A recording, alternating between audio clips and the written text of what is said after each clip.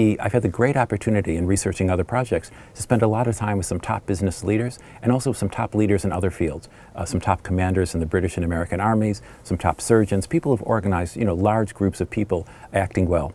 And what they tend to do is divide their, uh, their approach into two parts.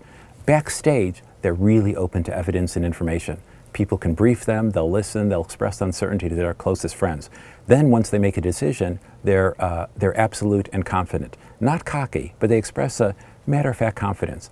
The people who only do that second stage, who appear to, think of the people who appear to be like Steve Jobs. Mm -hmm. I'm going to be arrogant and I'm going to be insistent.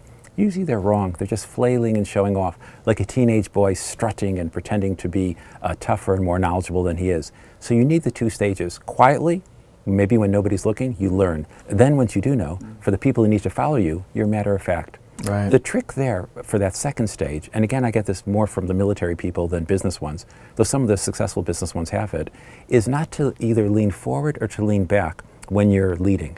Uh, uh, in, a, in a situation of, of violence, like a potential danger on the street, uh, people tend to lean back like, ooh, stay away from me, man, or I'm scared. Mm. Or they lean forward say, what are you saying? Very aggressive. Right. The people who stand utterly calmly in the middle, neither forward nor back, tend to be left alone or they tend to people quietly they listen to their quiet words interesting yeah because we interviewed daniel kahneman uh, author of think fast think slow and he was saying very similar things he said if you know system two thinking is your Im immediate gut response mm -hmm. versus system one but you've got to use both systems Correct. not one in isolation to the other someone like kahneman really has it nailed and I suppose the thing that what a good business or other leader can do is take those two stages, but do them at different times. One should be in public, one can be in private.